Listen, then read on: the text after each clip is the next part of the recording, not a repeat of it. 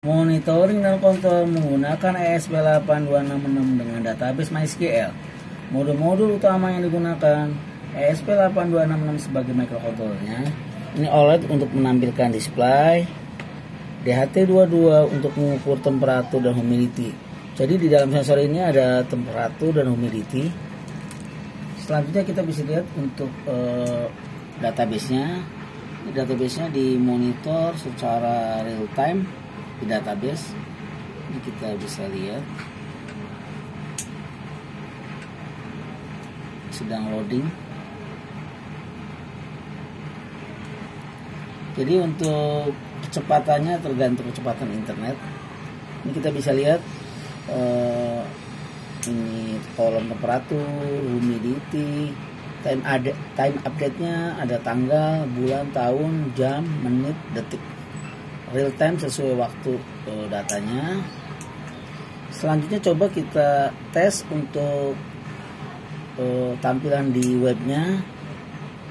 Kita bisa lihat uh, status awal kipas uh, mati. Coba kita kontrol kipasnya. Kita nyalakan sakarnya kipas uh, berputar dan untuk suhunya uh, real time terbaca di display dan terbaca di web. Sekarang coba kita matikan kipasnya.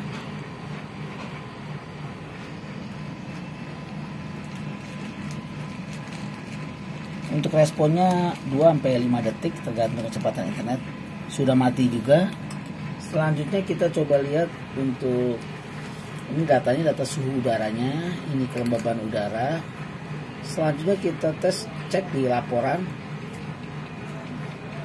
Ini laporan ini ambil dari database MySQL. Terus kita lihat kita coba refresh lagi untuk mendapatkan data terbaru.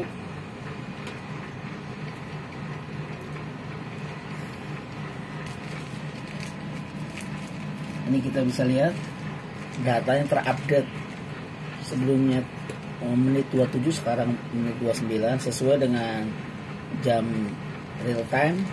Ini jamnya pakai jam server. Ini datanya. Selanjutnya coba kita tes lagi untuk kontrolnya. Posisi kipas eh, awal mati. Sekarang coba kita nyalakan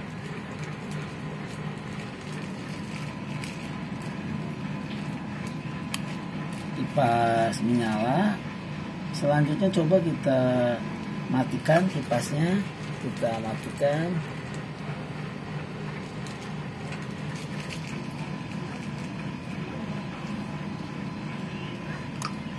Kita matikan. Oke sistem bekerja. Terima kasih